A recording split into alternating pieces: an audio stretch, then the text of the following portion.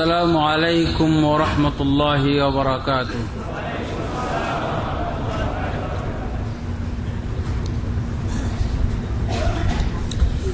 إن الحمد لله نحمده ونستعينه ونستغفره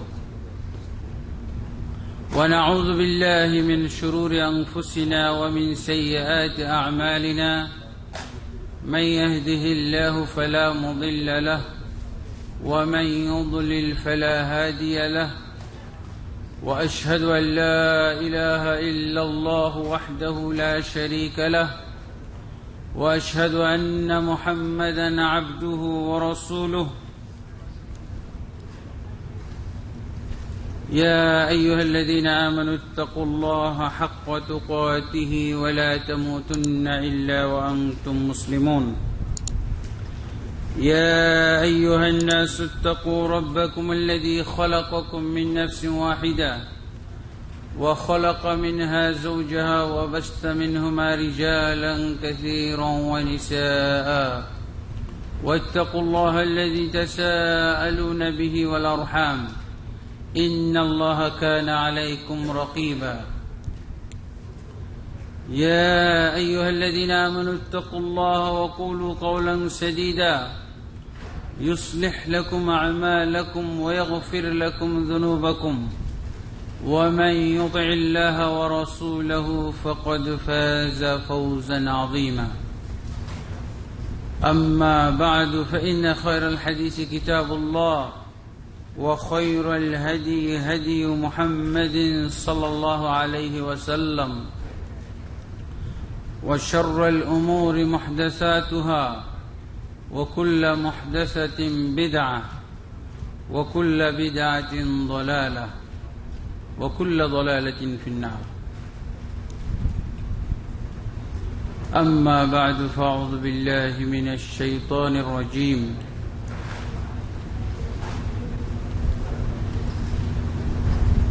وأن هذا صراطي مستقيما فاتبعوه ولا تتبعوا السبل فتفرق بكم عن سبيله ذلكم وصاكم به لعلكم تتقون. وقال سبحانه يوم تبيض وجوه وتسود وجوه فأما الذين اسودت وجوههم أكفرتم بعد إيمانكم؟ فذوقوا العذاب بما كنتم تكفرون. وأما الذين ابيضت وجوههم ففي رحمة الله هم فيها خالدون.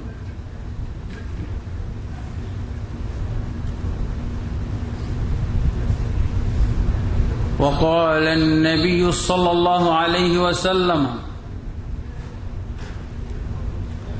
ألا إن من كان قبلكم من أهل الكتاب افترقوا على ثنتين وسبعين ملة وستفترق أمتي على ثلاث وسبعين ملة. ثنتان وسبعون في النار وواحدة في الجنة. راه أحمد وأبو داود. وقال النبي صلى الله عليه وسلم تركت فيكم أمرين لن تضلوا ما تمسكتم بهما كتاب الله وسنتي. رواه ابن ماجه وصححه الألباني رحمه الله.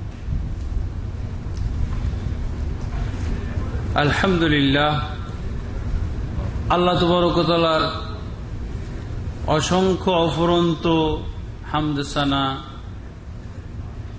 গণগানকে শুক্রিয়া যে আল্লাহ তবরকতলা অনেক প্রতিকূলতা এবং অনেক অনিশ্চয়তার সত্ত্বেও সময় মতো আপনাদের মাঝে আমাকে বাংলাদেশ থেকে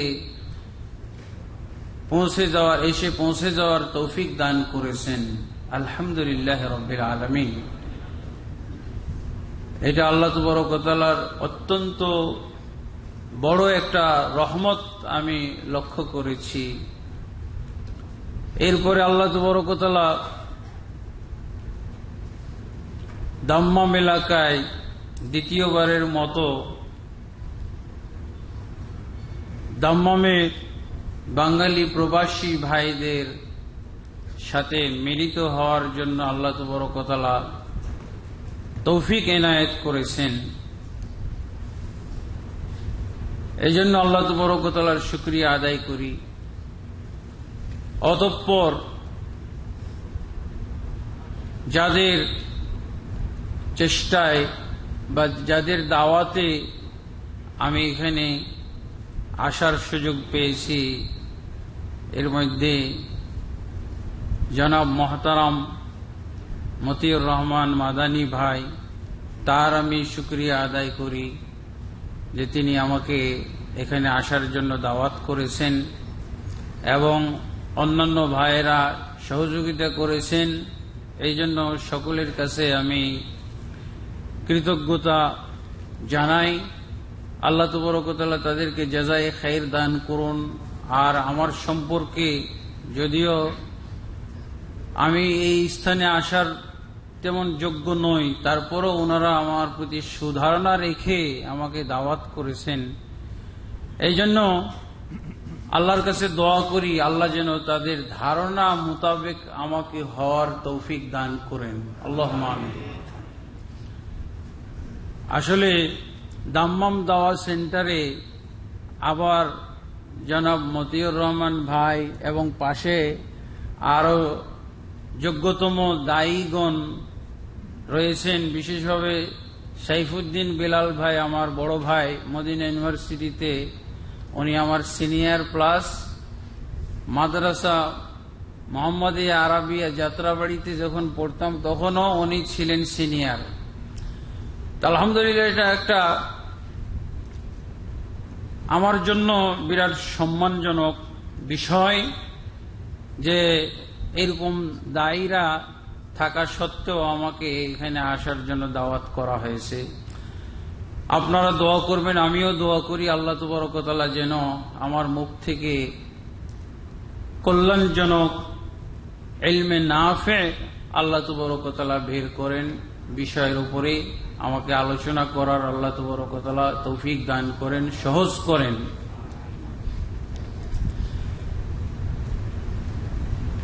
আমি আসলে আসার ব্যাপারে বেশ অনিশ্চিত ছিলাম। অনিশ্চিত প্রথম দিকে থাকলেও পরবর্তীতে আল্লাহ তবরকতলা আমাকে একটা আস্থা দান করেন।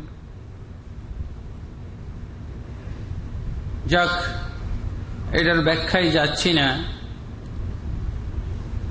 তো মতিউর রহমান ভাইও অনেকটা অনিশ্চিত ছিলেন, যার জন্য আসার আগে আগে দুপুরের দিকে আমি দেখেছি হোয়াটসঅ্যাপে মেসেজে উনি একটা বিষয় আমাকে লিখে পাঠিয়েছিলেন।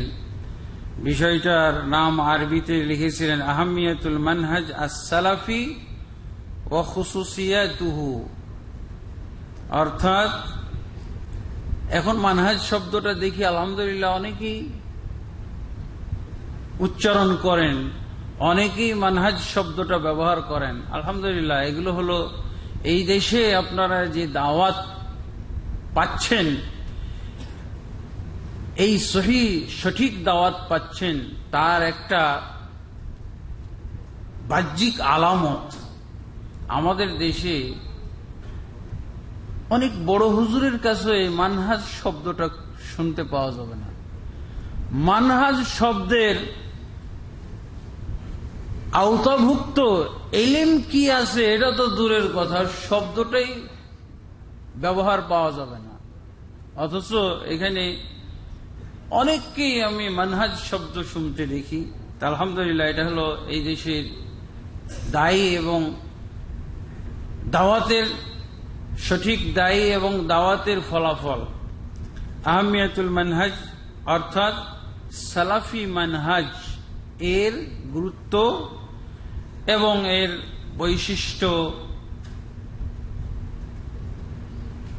এদের কর্মকাণ্ড, যেই কর্মকাণ্ড দিয়ে এদেরকে চেনা যাবে, অন্যদের থেকে ভিন্ন দেখা যাবে, অন্যদের তুলনায় তাদেরকে আলাদা মনে হবে। এগুলোই হলো মোটামুটি এই শব্দের অর্থ। তো মানহাজ সালাফ শব্দটা সালাফ শব্দটা আমাদের কাছে অনেকেই, অনেকের কাছে পরিচিত। কোরআনে সুরাজ জুখরুফের মধ্যে ছাপ্পান্ন নম্বর আয়াতে এই শব্দটা আল্লাহ উল্লেখ করেছেন। فجعلناهم سلفا ومثلا للآخرين অতঃপর আমরা তাদেরকে বানিয়ে দিলাম সালাফ এবং মাসাল অর্থাৎ দৃষ্টান্ত অন্যদের জন্য অর্থাৎ যারা অসৎকর্মশীল তাদেরকে আল্লাহ তবরকতলা ধ্বংস করে পরবর্তীদের জন্যে তাদেরকে সালাফ বানিয়ে দিলেন এই এই দৃষ্টিকোণ থেকে খারাপ সালাফ এবং ভালো সালাফ হইতে পারে। খারাপ সালাফ ফিরাউন, আল্লাহ তো বড় কথা বলছেন না, তোকে হত্যা করে দেহটাকে বাঁচিয়ে রাখব যাতে করে পরবর্তী দুষ্কৃতকারীদের, বিপর্যয় সৃষ্টিকারীদের জন্য দৃষ্টান্ত থেকে যাও। তো ফেরাউন একজন সালাফ। আর ফেরাউনকে যারা অনুসরণ করবে, তারাও এক ধরনের সালাফি। তো ইবনুল আসির, রাহেমাহুল্লাহ, তার নিহায়া গ্রন্থের মধ্যে এটার তফসির করতে যে বলেছেন, সালাফুল ইনসানি মান বিল মৌতি মিন আবাইহি ওয়া করাবাতিহি। সালাফ হচ্ছে কোন ব্যক্তির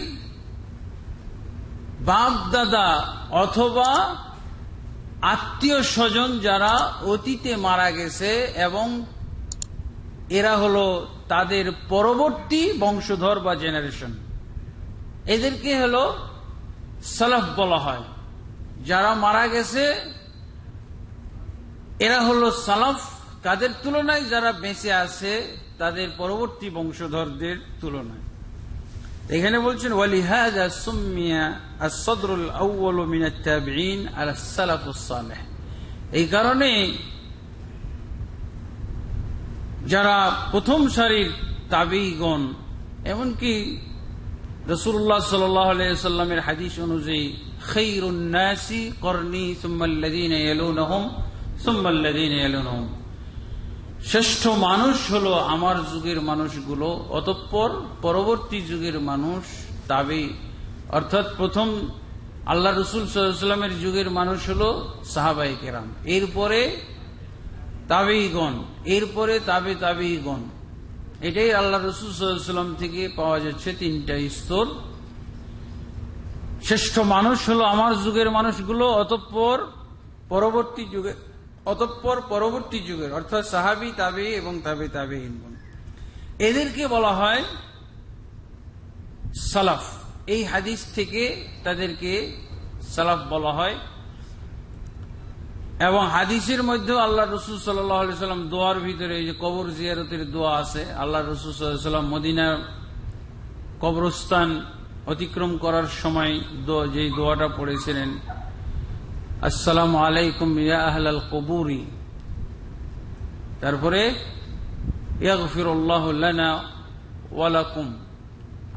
সালাফুনা ওয়া আনতুম সালাফুনা। কবরবাসীদেরকে লক্ষ্য করে আল্লাহ রসুল কি বলেছিলেন? আনতুম সালাফুনা। তোমরা এই কবরবাসী হওয়ার দিক দিয়ে আমাদের সালাফ হয়ে গেছো। আমাদের অগ্রগামী তোমরা। আমাদের আগে কবরে গেছো, আর আমরা তোমাদের পরবর্তীতে আসতেছি। আমরা এইভাবে সালাফ শব্দটা কোরআন এবং হাদিসে, লোগাতে, যদিও ওই যে হাদিসটা বললাম সনদের দিক থেকে দুর্বল, তারপরও মানে যেহেতু হাদিসের ভিতরে শব্দটা আছে, এই জন্য বললাম। তা আলহামদুলিল্লাহ, এই হল সালাফ। আর মানহাজ মানহাজ শব্দের অর্থ আল্লাহ তবরকতলা কোরআন মজিদে বিভিন্ন আয়াতে বিশেষভাবে সুরা আল মায়েদাতে এই শব্দটা নিয়ে এসেছেন।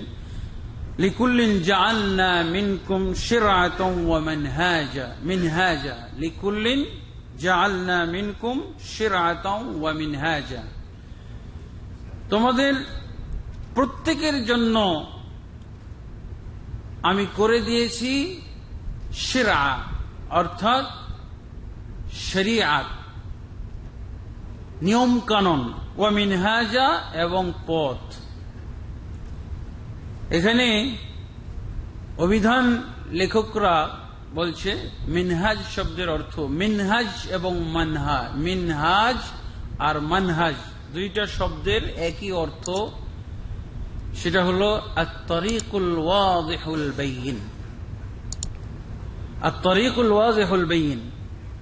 অর্থাৎ স্পষ্ট পথ। যেই পথের কোন ধরনের অস্পষ্টতা নাই, কোন ধরনের অন্ধকার নেই। এটাকে বলা হয় মিনহাজ বা মানহাজ। তো এখানে দুইটা শব্দ খুব পাশাপাশি উল্লেখ করা হয়। আকিদা, মানহাজ। আকিদা এবং মানহাজ। রসুল্লাহ সাল আলহি আসাল্লামের যে সুন্না শব্দটা এসেছে, এই সুন্নাটা আর মিনহাজ বা মানহাজ এই একই অর্থে ব্যবহার হয়। সুন্না আর তরিকাতুল মাসলুকা। মানে রসুল্লাহ সাল আলহি আসাল্লাম যে রাস্তা ছেড়ে গেছেন তারাক্তুকুম আলাল মাহাজ্জাতিল কানাহারিহা রসুল্লাহ বলছে, তোমাদেরকে আমি স্পষ্ট রাস্তার উপরে ছেড়ে গেছি, যার রাত এবং হ্যাঁ দিন সমান, স্পষ্ট। সুন্না সুন্নাও এই অর্থেই আসে। তো আকিদা এবং মানহাজ, অনেক আলেম এটার মধ্যে পার্থক্য করে না। এমনকি শেখ বিন বাজ তাকে জিজ্ঞেস করা হয়েছিল, আকিদা, মানহাজ, কি জিনিস? তো উনি বলছেন যে দুটাই একই অর্থবোধক শব্দ। এমনকি মুকবিল বিন হাদি আল ওয়াদি উনিও একই পক্ষে আকিদার মানহাজে কোনো পার্থক্য করতে চান না। যদি পার্থক্য করা হয়, তাহলে আকিদা হল যেগুলো বিশ্বাসের বিষয়, যেগুলো অন্তরের অন্তরে বিশ্বাস পোষণের ব্যাপার আছে, এগুলো হলো আকিদা। যেমন আরকান সিত্তা।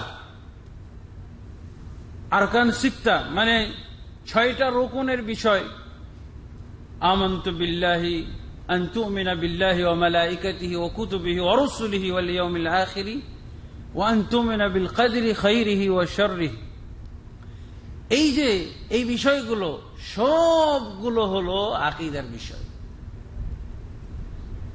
তৌহিদ, আকিদার বিষয়। উমুর গাইবিয়া, গায়েবের বিষয়। গায়েবের বিষয় এগুলো বিভিন্ন ধরনের হইতে পারে। কেয়ামতের আলামত, পরকাল, জান্নাত জাহান্নাম, সিরাত মিজান ইত্যাদি। এগুলো সব কিছুকে বিশ্বাস করা, এটা হলো আকিদা। আর মানহাজ মানহাজ তো আমরা, যেটা আমরা শুনলাম, এটা হলো একটা নির্দিষ্ট পথ এবং পন্থা। নির্দিষ্ট পথ এবং পন্থা। এই পথ এবং পন্থা অনুসরণ করে আপনি আকিদার বিষয়গুলো বিশ্বাস করবেন এবং আমলের বিষয়গুলো আপনি বিশ্বাস করবেন। যেটা সুরা ফাতেহাতে আমরা শেষের আয়াতে দোয়ার ছলে পড়ে থাকি, আল্লাহ দোয়া হিসেবে আমাদেরকে শিখিয়েছেন এহদিন মুস্তাকিম। এই হলো সিরাতে মুস্তাকিম। আমরা কি বলছি আল্লাহর কাছে? হে আল্লাহ আপনি আমাদেরকে সিরাতে মুস্তাকিম দেখান।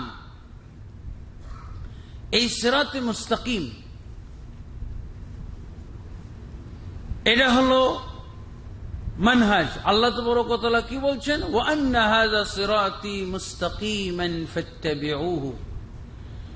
নিশ্চয়ই এটি আমার পথ। মুস্তাকিমান যা সোজা, সরল, সঠিক। কেবল এটার অনুসরণ করো। তাত্তাবিউ খবরদার অন্যান্য পথ অনুসরণ করো না।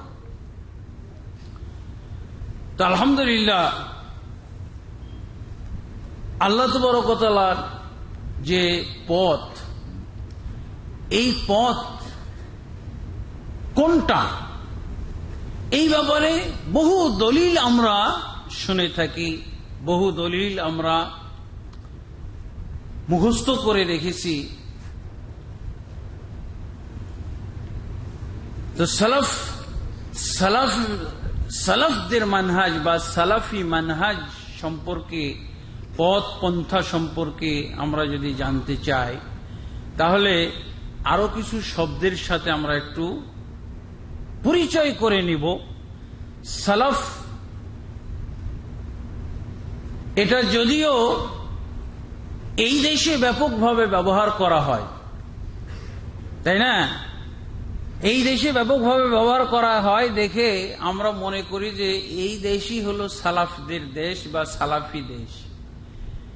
কিন্তু যখন আমরা আরও কিছু শব্দ জানব, যেটা সালাফ বা সালাফিয়ার সমর্থবোধক, তখন দেখব যে এটা সারা পৃথিবী ব্যাপী হ্যাঁ এই সালাফিয়াতের দরকার আছে সারা পৃথিবীতেই এই সালাফিয়াতের কায়েম করার প্রয়োজন আছে। এই সালাফিয়াতের, সালাফের আরও সমর্থবোধক শব্দগুলো যেমন আহলুসন্না এটা তো পরিচিত। সালাফ শুনলে আর সালাফি শুনলে মাথা গরম হয়ে যায়। কিন্তু আহলুসন্না যখন শুনি, তখন তো আর মাথা গরম হওয়ার কথা না। সালাফ, সালাফিয়া আর আহলুসুন্নার মধ্যে কোনো পার্থক্য নাই, একই জিনিস। যদি আপনি পার্থক্য করেন, যদি আপনাকে কেউ পার্থক্য বুঝাতে চেষ্টা করে, জানতে হবে আপনাকে সে বিভ্রান্ত করতে চাচ্ছে, আপনাকে গুমরাহ করতে চাচ্ছে। সালাফ কেন আমি নাক ছিটকাবো এই শব্দটা এই সালাফিয়া শব্দ আর আহলুসুন্না একই অর্থবোধক। এটা আর একটু লম্বা করে বলা হয় আহলুসুন্না ওয়াল জামা সালাফিয়া, তাহলে এটা আলাদা জিনিস না। আমরা নতুন জিনিস আজকে বুঝতে বসেছি তা নয়। আমার জানা বিষয়টাই হয়তো আজকে অন্যভাবে বুঝব। আগের বুঝার ভিতরে অনেক হয়তো বিভ্রান্তি রয়েছে। সমস্যা থাকতে পারে। আজকে আমরা বিশুদ্ধভাবে বুঝব ইনশাআল্লাহ। শুধু আল জামাও বলা হয়। কি? শুধু আল জামা বলা হয়। এটা তো আহলুসুন্না ওয়াল জামা আর একটা হলো আল জামা যেমন রসুল্লাহ হাদিসের ভিতরে এসে গেছে।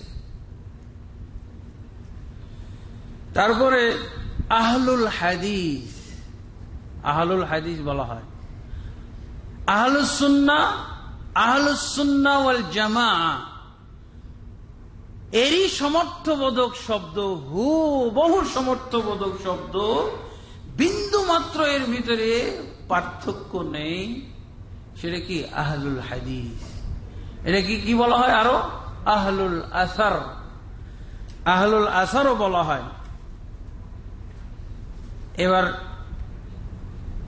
মানে জানা কিছু বুঝতে যাচ্ছেন, শিখতে যাচ্ছেন, ইনশাআল্লাহ। আর একটা নাম হল সালাফ বা সালাফিয়ার আল ফিরকান্নাজিয়া নাজাত প্রাপ্ত দল বা মুক্তিপ্রাপ্ত দল। আরেকটা আরেকটা শব্দ পাওয়া যায় আত্মা ইফাতুল মানসুরা। সাহায্যপ্রাপ্ত দল আল্লাহর পক্ষ থেকে, সাহায্যপ্রাপ্ত দল। আলহামদুলিল্লাহ, তো সালাফে সালেহীন, এই শব্দগুলোই সালাফ আজকে মনহাজ সালাফি যে আমরা জানতে বসেছি বা জানার জন্য বসেছি, এর অর্থ আমি নতুন কিছু জানতে চেষ্টা করছি তা না। ভিন্ন কিছু তা নয়। এই যে এতগুলো শব্দ, পরিচিত শব্দ এমনকি এই শব্দগুলোর ভিতরে অবশ্যই কমন পড়ে গেছে। আপনি বাংলাদেশে যেই এলাকায় যে অঞ্চলে বসবাস করেন, যেই যেই হুজুরদের মাঝে বসবাস করেন, যেই আলেম, যেই মুফতি, মহাদ্দিসদের সাথে বসবাস করেন, তাদের ব্যবহৃত পরিভাষা, তাদের ব্যবহৃত শব্দের সাথেই হুবহু মিল রয়েছে। আজকের এই সালাফ শব্দের আমরা ভিন্ন, অন্য কিছু জানতে যাচ্ছি না। সেটাই আমরা জানতে যাচ্ছি, কিন্তু এখান থেকে স্পষ্ট হবে যে আমরা আহলুসুন্না বলতে কি বুঝি, আর বাস্তবে আহলুসুন্না কি জিনিস। তা আলহামদুলিল্লাহ, এখানে তাহলে আমরা যখনই বিষয়টা বুঝলাম যে মানহাজ সালাফি সালাফি মানহাজের গুরুত্ব, এর অর্থ হল আহলুসুন্না জামাতের গুরুত্ব, আহলুসুন্না ওয়াল জামাতের অন্তর্ভুক্ত হওয়ার গুরুত্ব। একটি আয়াত আমি তেলাওয়াত করেছি সুরা আলে ইমরান থেকে। আল্লাহ তবরকতলা বলছেন, কিয়ামতের দিন দুই শ্রেণির মানুষের অবস্থা সম্পর্কে কিয়ামতের দিন দুই শ্রেণির মানুষ আল্লাহর সামনে উত্থিত হবে। তাদের ভিতরে এক শ্রেণির মানুষের চেহারা কালো বিভৎস হবে, কুশ্রী হবে। এবং আরেক শ্রেণির মানুষের চেহারা সমজ্জল শুভ্র হবে, হাস্যোজ্জ্বল হবে। ইবন আব্বাস রদি আল্লাহ আনহ থেকে বর্ণনা এসেছে, ইমাম লালকাই রহমতুল্লাহ বর্ণনা করেছেন, যাদের চেহারা হাস্যোজ্জ্বল হবে, এরা হলো আহলুসন্না আর যারা, যাদের চেহারা কালো কুৎসিত হবে, এরা হলো আহলুল বিদা আমরা আহলুসুন্না সম্পর্কে জানব, এদের গুরুত্ব জানব, কারণটা কি? কারণ হলো, আমরা তো প্রথম ধাপে অবশ্যই সবাই মুসলিম, তাই না? মুসলিম তো হতেই হবে, কারণ মুসলিম ছাড়া জান্নাতে কেউ যেতে পারবে না। জান্নাতা ইল্লা নফসুম ইল্লা নফসুম মুসলিমা। আল্লাহর জান্নাতে মুসলিম ব্যক্তি এবং মমিন ব্যক্তি ছাড়া কেউ জান্নাতে প্রবেশ করতে পারবে না। আর মুসলিম ব্যক্তিদের ভিতরে আহলুসুন্না ছাড়া কেউ জান্নাতে যেতে পারবে না। আলহামদুলিল্লাহ। তাহলে বুঝতে পেরেছেন তো? মুসলিম খাঁটি মুসলিম হওয়ার জন্য, জান্নাতি মুসলিম হওয়ার জন্য আমাকে মনহাজ সালাফি অথবা আমাকে আহলুসুন্না সম্পর্কে জানতে হবে। অবশ্যই জানতে হবে। এটা জানাটা কিন্তু নফল নয়, ফরজ। এই হাদিসের মাধ্যমে পাওয়া যাচ্ছে রসুল্লাহ সাল্লাম বলছেন, ইফতারাকাত বানু ইসরাইলা ইলা সিনতাইন সাবিনা মিল্লা। বানু ইসরাইলরা বাহাত্তর ভাগে বিভক্ত হয়েছিল, আর আমার উম্মত তিহাত্তর ভাগে বিভক্ত বিভক্ত হবে। আল্লাহ রসুল সাল্লাম গণনা করে বলেছেন সিনতানি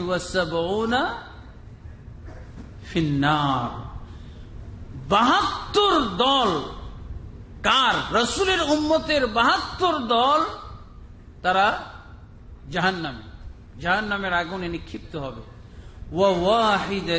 ফিল জান্নাহ। একটা দল জান্নাতে যাবে। একটা দল জান্নাতে যাবে। তাহলে মুসলিম রসুলকে ভালোবাসে, রসুলকে মহব্বত করে, রসুল সাল্লাহ আলহি অনুসরণের দাবি করে, রসুল সাল্লাহ সাল্লামের জন্য পাগল পাড়া, রসুল সাল্লাহ আলী সাল্লামের আশেক। এদের মধ্যে বাহাত্তর ভাগ জাহান নামে যাবে আর একটা দল জান্নাতে যাবে। আমরা কোন দল সম্পর্কে জ্ঞান লাভ করব? কোন দল সম্পর্কে জ্ঞান লাভ করব বলেন? কাদের সম্পর্কে আমাদের জ্ঞান লাভ করা উচিত? হ্যাঁ অবশ্যই। সাহাবাই কেরামও তাই করেছিলেন। সাহাবাই কেরাম কি বলেছিলেন? সাহাবাই কেরাম আল্লাহ রসুলকে এরকম কোন প্রশ্ন করেননি আর রসুল আল্লাহ আমাদেরকে বাহাত্তর দল সম্পর্কে জ্ঞান দান করুন। পরিচয় দিন। বাহাত্তর দল কারা? এটা বলেনি কি বলেছেন? মান হিয়া নাজাত প্রাপ্ত দল কোনটা? হে আল্লাহ রসুল আমাদেরকে বলে দিন। তখন রসুল্লাহ সাল্লাম কি বলেছিলেন? নাজাত প্রাপ্ত দল, এক বর্ণনা আছে, হিয়াল জামা হিয়াল জামা সেটা হলো ঐক্যের দল। সেটা কি? ঐক্যের দল, যারা ঐক্যবদ্ধ। ঐক্যের দল। আর বাহাত্তর এরা কিসের? ঐক্যের দল। এরা কিসের দল? এরা অনৈক্যের দল। তিয়াত্তর ভাগ হবে। বাহাত্তরটা তো তারা বিভিন্ন নাম নিয়ে নিয়ে তারা ভাগ হয়ে গেছে, তাই না? বিভিন্ন নাম গ্রহণ করে করে তারা ভাগ হয়ে চলে গেছে। বাকি থাকল একটাই। যেটা কোনো নাম ছাড়া দল। নাম ছাড়া দল। আল্লাহ রসুল কি বলছেন? হিয়াল জামা, সেটা হলো জামাত আবার এই জামাতের তাফসির আল্লাহ রসুল সাল্লাম অন্য হাদিসে, অন্য রওয়ায়তের মাধ্যমে করে দিয়েছেন। কি? হুম মান কানা আলা মিথলি মা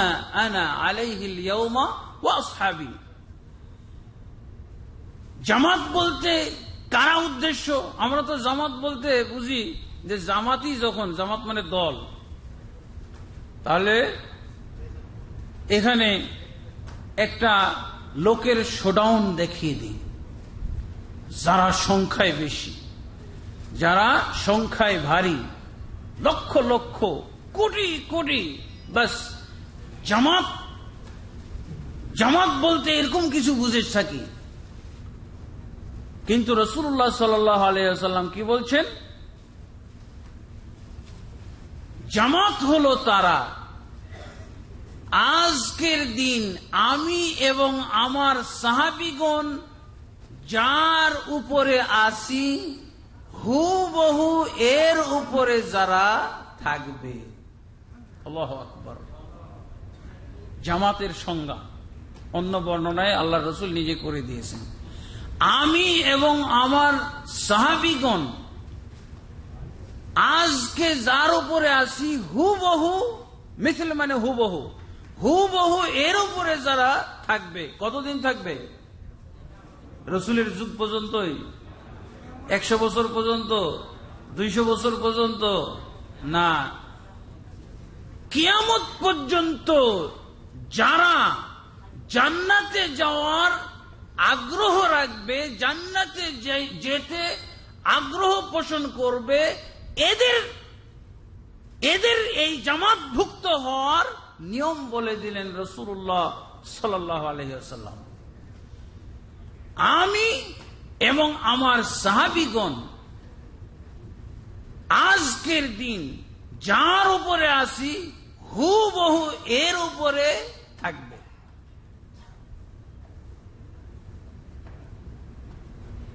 তো কিসের উপরে ছিলেন সাহাবাই কেরাম হ্যাঁ? কোরআন, সুন্না? আরও কিছু বলেন না? এটা তো মাত্র দুইটা বললেন। হ্যাঁ? দুইটা এরপর আর বলতে পারবেন না? হ্যাঁ। তো যাক, এটাও আল্লাহ রসুলের সুন্নাত। এই যে বলতে পারলেন না, এটাও আল্লাহ রসুল সাল্লাহ সাল্লামের সুন্নাত।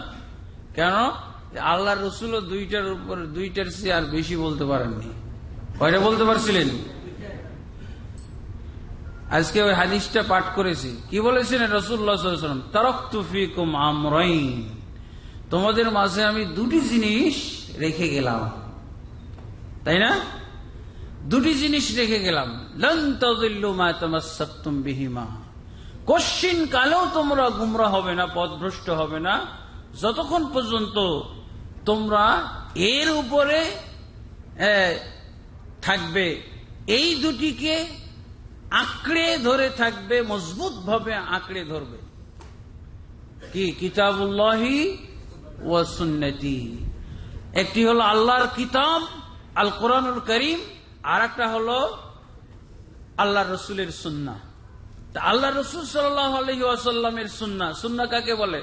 হুয়া মা হুসিরা মিনান নবী সাল্লাল্লাহু আলাইহি সাল্লাম মিন আকওয়ালিহি ওয়া আফআলিহি ওয়া তাকরিরাতিহি হ্যাঁ মুরাদিফুন লিল হাদিস হাদিসেরই সমর্থবোধক, মুহাদ্দিসিনে কেরামের নিকটে সুন্না হলো হাদিসেরই সমর্থবোধক শব্দ। আল্লাহর রসুল সাল্লাহ আলহি আসাল্লাম যা বলেছেন, যা করেছেন, যা সমর্থন বা অনুমোদন দিয়েছেন আল্লাহর রসুল সাল্লাহ আলহি আসাল্লামের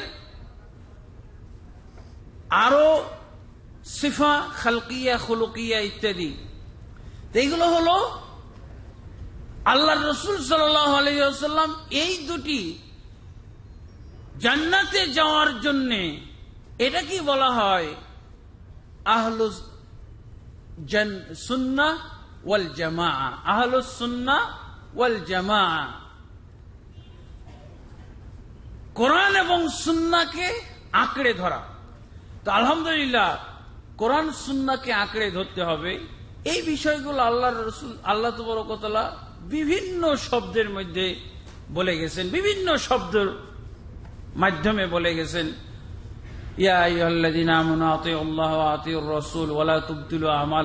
হে ঈমানদারগণ, তোমরা আল্লাহকে অনুসরণ করো, রাসূলকে অনুসরণ করো। খবরদার, তোমরা তোমাদের আমলগুলোকে নষ্ট করে দিও না। তারপরে আল্লাহ তুবরকতলা বলছেন, হে ইমানদারগণ তোমরা আল্লাহকে অনুসরণ করো এবং রসুলকে অনুসরণ করো। আর তোমাদের যারা উলিল আমর, তোমাদের যারা দায়িত্বশীল, তাদের তোমরা অনুসরণ করো। রসুল যদি কোনো বিষয়ে তাদের সাথে মতবিরোধ হয়, তাহলে বিষয়টি আল্লাহ এবং আল্লাহ রসুলের কাছে ফিরিয়ে দাও, যদি তোমাদের আল্লাহ এবং পরকালে বিশ্বাস থাকে। এবং এটাই হল উত্তম এবং পরিণামের পরিণতির দিক দিয়ে ভালো। আলহামদুলিল্লাহ, এইভাবে আল্লাহ তবরকতলা কোরআন এবং সুন্নাহকে আল্লাহকে এবং তার রসুলকে মানার এবং অনুসরণ করার ব্যাপারে তাগিদ দিয়েছেন, আদেশ দিয়েছেন ইত্যাদি। আলহামদুলিল্লাহ, এটা হলো আহমিয়াত, এটাই হলো গুরুত্ব যে আমাদেরকে সবাইকে এই মানহাজ মানহাজের অন্তর্ভুক্ত হতে হবে। অর্থাৎ আমাদের আকিদা, আমাদের আমল আমাদের আখলাক, আমাদের মামলাত সব কিছু হবে আল্লাহর কোরআন অনুযায়ী, কিতাবুল্লাহ অনুযায়ী এবং রসুল্লাহ সাল্লাহ আলহিসাল্লামের সুন্না অনুযায়ী হবে। এটাই হলো। কোরআন, সুন্না তো আমরা মানি, আমরা ইসলাম তো মানি, কোরআন, হাদিসও আমরা মানি। তাই না? আমরা তাওহিদও মানি তাওহিদ তাওহিদি জনতা, তাওহিদ বুঝি আর না বুঝি, তাওহিদি জনতা আমরা সবাই। বাংলাদেশে, ভারতবর্ষে সবাই তাওহিদি জনতা। বুঝি আর না বুঝি বুঝি আর না বুঝি, তাই না? সবাই তৌহিদি জনতা, সবাই ইসলাম দরদি, সবাই দিন দরদি, সবাই কোরআনের ভক্ত, সবাই রসুলের ভক্ত, সবাই আল্লাহর ভক্ত, সবাই সুন্নার ভক্ত। ভালো কথা। কিন্তু এত মারামারি, পিটাপিটি হয় কেন? হ্যাঁ? বলেন তো, আমাদের দেশে মুসলমানদের ভিতরে মারামারি যেগুলো হচ্ছে, ধরাধরি হচ্ছে, সিলেটে তোলপাড় চলতেছে, আপনারা তো খবর রাখেন, তাই না? এর কাদের ভিতরে? হ্যাঁ? পক্ষ বিপক্ষ কারা? আল্লাহ ভক্ত, পক্ষ আল্লাহ ভক্ত, নবী ভক্ত, কোরআন ভক্ত, সুন্না ভক্ত হ্যাঁ? তারপরে কি? তৌহিদ ভক্ত, এরা হলো এক পক্ষ। আর বিপক্ষ কারা? বিপক্ষ এরাই। বিপক্ষ লোকেরাও কি? আল্লাহ ভক্ত, রসুল ভক্ত, কোরআন ভক্ত হ্যাঁ? ইসলাম প্রিয়, ইসলাম দরদি তৌহিদি জনতা। এরকম হইল কেন? বুঝেছেন তো? এই জায়গায় হলো মানহাজ। মানহাজের খেল এখানে। বুঝেছেন তো? আমরা ইসলাম মানি, কিন্তু সালাফি মানহাজে না মানার কারণে এইসব গন্ডগোল, দ্বন্দ্ব, মারামারি, পিটাপিটি, তহিদি জনতার ভিতরে। ইসলাম মানি, কোরআন মানি, হাদিস মানি কীভাবে মানি? দেশি কায়দাই মানি। হ্যাঁ? আমরা, এর ফলে কি হয়ে গেছে? ইসলামই দুরকম হয়ে গেছে। কি? আরবের ইসলাম আর ভারতের ইসলাম। বাংলাদেশি ইসলাম, শুধু তাই না? বাংলাদেশের মধ্যেও আপনি দেখবেন কি? চট্টগ্রামের ইসলাম, বরিশালী ইসলাম নোয়াখালী ইসলাম হ্যাঁ? সিলেটি ইসলাম। এরকম না? এটা হলো মানহাজ না বুঝার কারণে। আমি কোরআনের ভক্ত হব, আমি ইসলামের ভক্ত হব, আমি তৌহিদের ভক্ত হব, আমি সুন্নার ভক্ত হব। দেশি কায়দায় নয়। বাংলাদেশি পন্থায় নয়। পীর সাহেবের বুঝ অনুযায়ী নয়। বড় হুজুরের বুঝ অনুযায়ী নয়। বরিশালের বুঝ অনুযায়ী নয়। বাংলাদেশি বুঝ অনুযায়ী নয়। তাহলেই দ্বন্দ্ব লেগে যাবে। কি অনুযায়ী? সালাফে সালেহিনের মানহাজ, পথ এবং পন্থা অনুযায়ী। খৈরুন্নাস রসুল্লাহ সাল্লাম যেভাবে বলে দিয়েছেন। দেখছেন? এখন আপনি সালাফি মানহাজ মানহাজ সালাফি যখন সামনে নিয়ে আসবেন, তখন এই মানহাজ সালাফি দিয়ে যখন আপনি মানহাজ সালাফির পাল্লায় মাপা শুরু করবেন হ্যাঁ? যাচাই করা শুরু করবেন পরক করা শুরু করবেন, তখন কি দেখবেন? ও হুজুর, আপনার ইসলাম তো আল্লাহর ইসলাম না। আপনি যে তৌহিদের কথা বলছেন, এটা তো আল্লাহর কোরআনের তৌহিদ নয়, এটা তো সর্বেশ্বরবাদীদের তৌহিদ। সর্বেশ্বরবাদীদের, মুশ্রিকদের তৌহিদ, আল্লাহর দৃষ্টিতে যে তৌহিদ, রসুলের দৃষ্টিতে যে তৌহিদ, সেই তৌহিদ তো এটা নয়। সালাফে সালেহিনদের দৃষ্টিতে যে তৌহিদ, এটা তো তৌহিদ না। এই ইসলাম তো সেই ইসলাম নয়।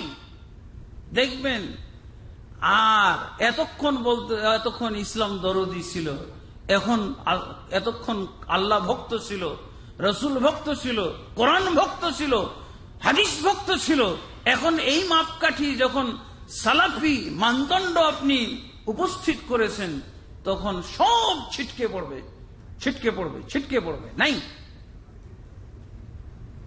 এরকম কত শত ফোন যে আমার কাছে আসে এই দেশে তারা সালাফি দাওয়াত পর, সালাফি দাওয়াত মানে কি? ইসলামটাকে ওইভাবে জানা, ওইভাবে শেখা, যেভাবে আল্লাহ নাজিল করেছেন। সালাফি মানহাজের কোথায় প্রয়োজন? এই জায়গায় প্রয়োজন। আর আপনি যদি দেশি ইসলাম সম্পর্কে জানতে চান, এগুলো দরকার নেই। সালাফির দরকার নাই। আহলুসুন্না জামাতের মানহাজ, এগুলো জানার দরকার নাই। আপনি যদি দেশি ইসলাম চান, দেশি ইসলাম কত ধরনের আপনি বলতে পারবেন? দেশি ইসলাম, দেশি তৌহিদ, কত ধরনের আপনি গণেই শেষ করতে পারবেন না। আলহামদুলিল্লাহ, এই দেশে মানহাজের কারণে যে কোনো এলাকায় যাবেন, একই আকিদা, একই আমল। যে কোনো আলেমের কথা শুনবেন, একই রকম কথা, একই রকম নির্দেশনা, একই ধরনের বলে যাচ্ছে। যে কোনো মসজিদে ঢুকবেন, কি? একই আমল। এক, সব এক এক এক। কিসের মাধ্যমে এক হয়? মানহাজ সালাফির কারণে এক হয়। মানহাজ সালাফির কারণে এক হয়। আমি তো নিচ্ছি না। আমি তো সেই সাহাবি তাবেই এদের ব্যাখ্যা বিশ্লেষণ আমি নিচ্ছি। কাজেই আর আমার বিভ্রান্ত হওয়ার সম্ভাবনা নাই, আলহামদুলিল্লাহ। এরপরও তো আল্লাহ তবরকতালার কাছে হেদায়েত চাইতে হবে। হেদায়েতের উপরে দৃঢ় থাকার জন্য আল্লাহর কাছে দোয়া করতে হবে। বুঝেছেন তো? কোরআন, হাদিস, ইসলাম মানা, এবাদত এবং আমল করা, আকিদা, তৌহিদ, সুন্না, বেদাত, শির, কুফরি, এগুলো সব কিছুর ব্যাপারে সঠিকটা জানার জন্য কি দরকার? মানহাজ সালাফি সালাফি পথ পন্থা সালাফি পথ পন্থা কি এই যুগের নাকি? হ্যাঁ? তাহলে বড় হুজুরের হিংসা করার কোনো কিছু আছে? আমরা তো বলছি না যে আমাদের অনুসরণ করেন। আমরা কি বলি? আমাদেরকে অনুসরণ করতে বলি কখনো? আমরা তো অত্যন্ত নগণ্য, অত্যন্ত তুচ্ছ, অত্যন্ত ছোট। কিন্তু আমরা এমন একটা কথা বলি এমন ভাবে বলি যে আমার চেয়েও ছোট মানুষ যদি বলে, দশ বছরের একজন শিশুও যদি বলে, এই কথা সঠিক হতে আর এই কথা মোতাবেক চললে আপনি হক পাবেন অবশ্যই অবশ্যই। এতে কোনো ভুল নাই। সেটা কি? আমরা তো আমাকে মানতে বলতেছি না, আমার বড় হুজুরকে মানতে বলতেছি না। কাকে মানতে বলতেছি? যাদের প্রশংসা রসুল্লাহ সাল্লাম নিজে করেছেন।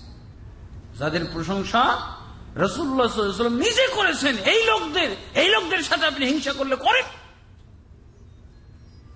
আমি কখনোই আমার কথা বলব না। এবং এটাই হলো এই দেশে এলিম অর্জন করার বৈশিষ্ট্য। এই দেশে যারা এলিম অর্জন করে, মক্কা এবং মদিনাতে যারা এলিম অর্জন করে, এই দেশে হলো হক্কানি আলেম। এদের কাছ থেকে যারা এলিম অর্জন করে, তাদের এলিমটা এইভাবে বিশুদ্ধ, আলহামদুলিল্লাহ। এই প্রত্যেকটা ইসলামের শিক্ষা দীক্ষা মানহাজ সালাফির উপরে হয়ে থাকে।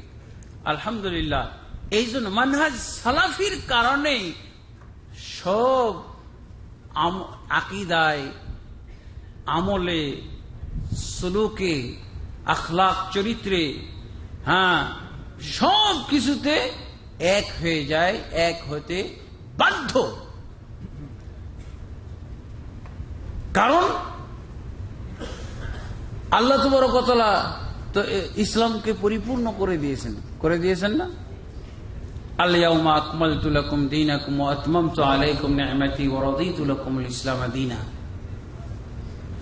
আজকের দিন তোমাদের জন্য তোমাদের দিনকে পরিপূর্ণ করে দিলাম। আমার নিয়ামতটিকে সম্পূর্ণ করে দিলাম। এবং ইসলামকে তোমাদের জন্য দিন রূপে ধার্য করে খুশি হয়ে গেলাম, আলহামদুলিল্লাহ। এই পরিপূর্ণ দিন যদি আমরা জানি, বুঝি, তাহলে অবশ্যই এই দিনের অনুসারীরা এক থাকবে, ঐক্যবদ্ধ থাকবে।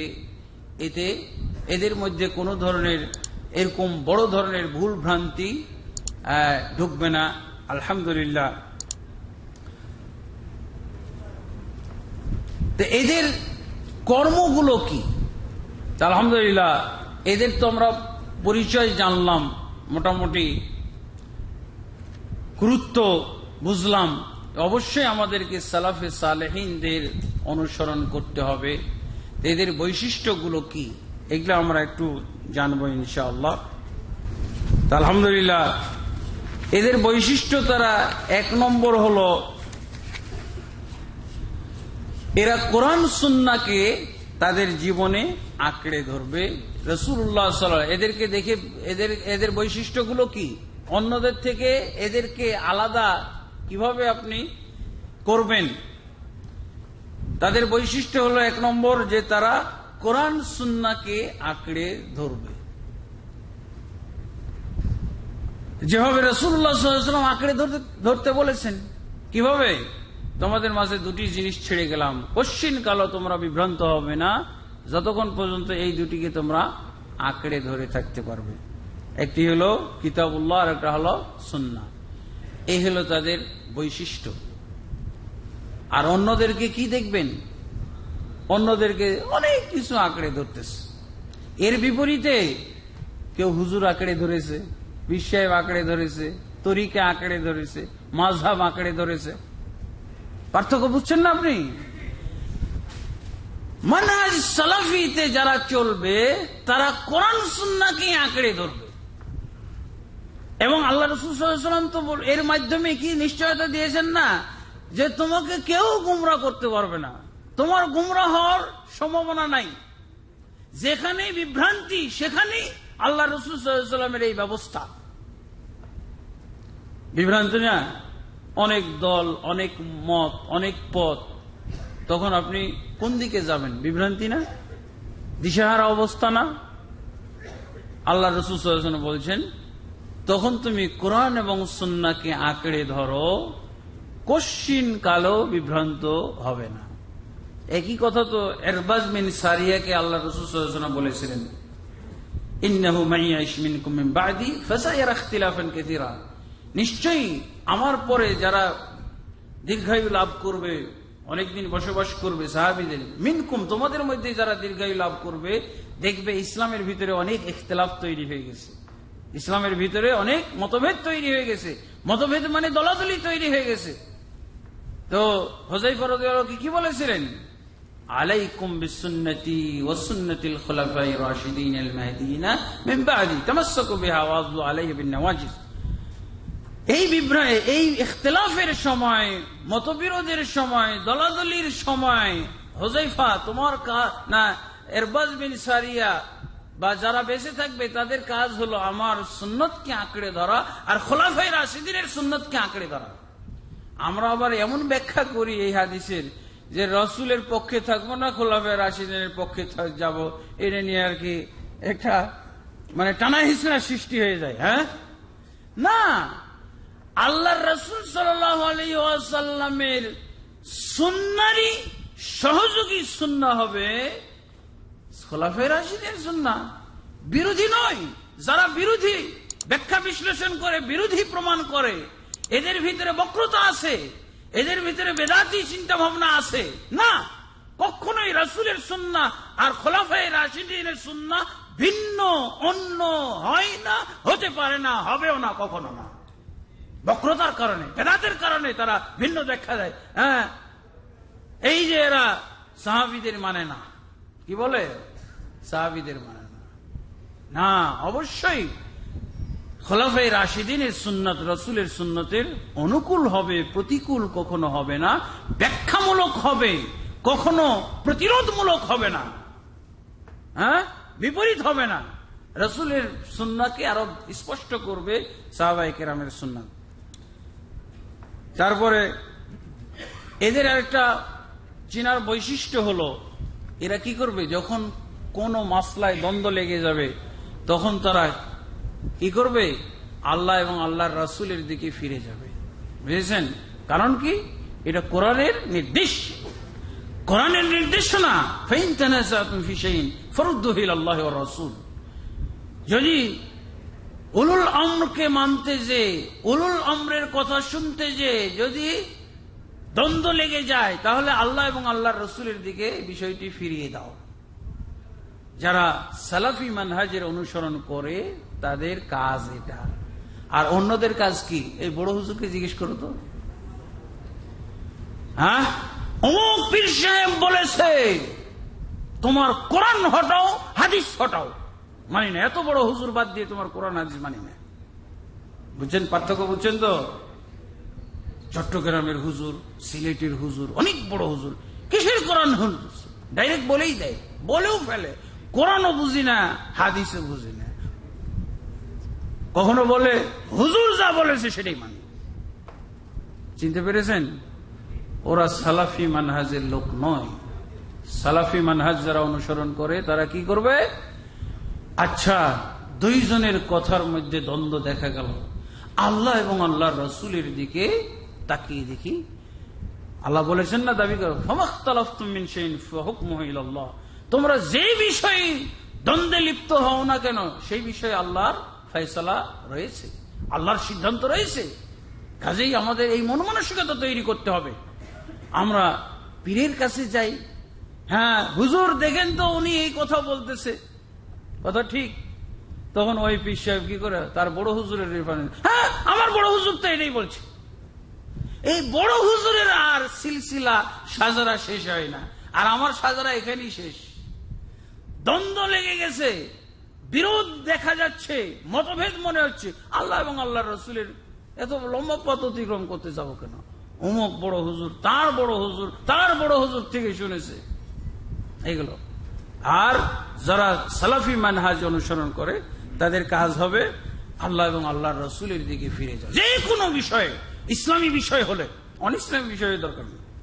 এরপরে, কোরআনেও তো আল্লাহ বলছেন, ফালা বাইনাহুম। তোমার রবের কসম, তারা অবশ্যই মমিন নয়। যারা তাদের ভিতরে সংগঠিত বিবাদে তোমাকে ফয়সলাকারী নিযুক্ত না করে, অতঃপর তুমি যে ফয়সলা দিয়ে দাও, সেটাকে শিরোধার্য ভাবে সন্দেহাতীত ভাবে মেনে না নেয়। এরা মমিন নয়। কি, আমি তাহলে বড় হুজুরের কাছে যাই কেন? আল্লাহ এবং রসুলের কাছে যেতে হবে।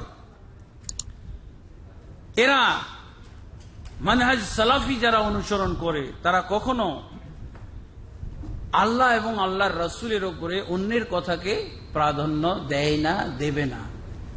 এটা সুরা হুজরাতের শিক্ষা হে ইমানদার গুণ তোমরা খবরদার আল্লাহ এবং আল্লাহর রসুলের উপরে অগ্রণী হয়ে না। আল্লাহ এবং আল্লাহর রসুলের উপরে বেড়ে যেও না, বেড়ে যেয়ে কোনো কথা বলো না। তারপরে, আলহামদুলিল্লাহ, আরেকটা বিষয়, সেটা হলো মানহাজ সালাফিতে দেখবেন, তাদের ভিত্তি হলো, সব কিছুর ভিত্তি হলো তৌহিদের উপরে সন্ন্যার উপরে। তৌহিদ। সব তৌহিদ আর তৌহিদ। এটা আমাদের বাংলাদেশের জন্য একটা বদনামের কারণ হয়ে গেছে হ্যাঁ? যারা আরব থেকে লেখাপড়া করে, আরব থেকে ফিরে আসে, ওরা তাওহিদ আর তাওহিদ এটা ছাড়া কিছু বোঝে না হ্যাঁ? সালাফি তাওহিদ তো হলো আসল। এদের দাওয়াতের ভিত্তি হলো তৌহিদ এখান থেকে শুরু করে। এই যে আমাদের আজকের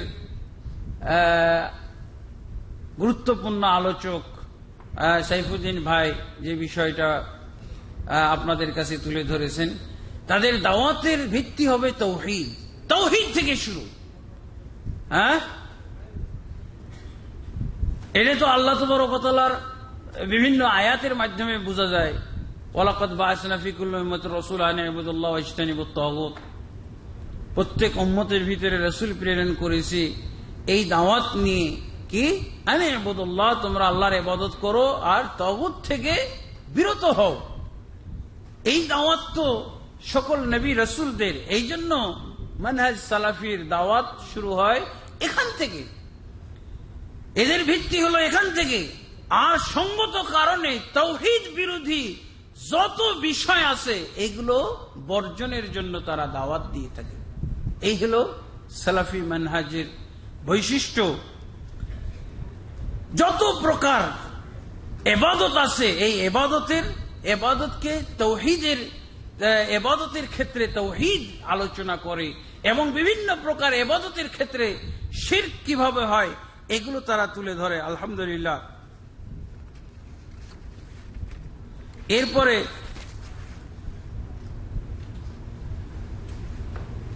সালাফি, সালাফিদের পরিচয় হলো আর একটা যে তারা নবীর মৃত সুন্নত গুলোকে জীবিত করে। নবীর মৃত সুন্নত গুলোকে জীবিত করে। মৃত সুন্নত বলতে কিন্তু অনেক ধরনের। সুন্নত বলতে হলো রসুল্লাহ সাল্লামের আদর্শ পথ পন্থা এটাই ছিল সালাফে মৃত সুন্নত গুলোকে তারা জীবিত করে।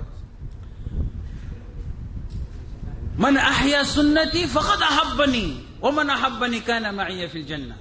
রসুল্লাহ সাল্লাম বলছেন, যে ব্যক্তি আমার সুন্নতকে জীবিত করে, সেই প্রকৃত পক্ষে আমাকে ভালোবাসে। এই বর্ণনাটা অনেকে এইভাবে বলে, মান আহাব্বা সুন্নতি ফকাদ আহাব্বানি। আসলে এই শব্দ নাই। কি আছে? মান আহিয়া সুন্নতি ফকাদ আহাব্বানি। যে আমার সুন্নতকে জীবিত করে প্রকৃত পক্ষে সেই ব্যক্তি আমাকে মহব্বত করে। ফিল এবং যে ব্যক্তি আমাকে মহব্বত করবে, সেই জান্নাতে আমার সাথে থাকবে। আলহামদুলিল্লাহ, এটা হলো তাদের একটা বৈশিষ্ট্য, তাদের একটা কাজ, যার মাধ্যমে অন্যদের থেকে পার্থক্য করা যাবে। এবং এই কারণে দেখা যায় যে তারা অপরিচিত সমাজে, অনেক সমাজে দেখা যায় যে সুন্নত মারতে মারতে মারতে মারতে খালি বেদাতি দেখা যায়, সুন্নত আর খুঁজে পাওয়া যায় না। এই জন্য আর সুন্না পালনকারীদেরকেও দেখা যায় যে তারা নাই সমাজে। কত এরকম যে আমার কাছে ফোন, কত শত ফোন আসে। ভাই সই আকিদা পালনকারী এই এলাকায় আমি ছাড়ার নাই। কি করতে পারি বলেন? হ্যাঁ? এই থানার মধ্যে ওনার জানা মতে, এই ডিস্ট্রিক্টের মধ্যে সহি আকিদা এবং সহি আমলকারী, সুন্না মোতাবেক জীবনযাপনকারী আমি ছাড়ার নাই। বলে দেয় এই ডিস্ট্রিক্টের মধ্যে। হ্যাঁ?